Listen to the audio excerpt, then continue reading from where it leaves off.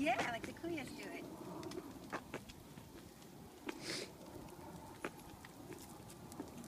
And then we can all ride bikes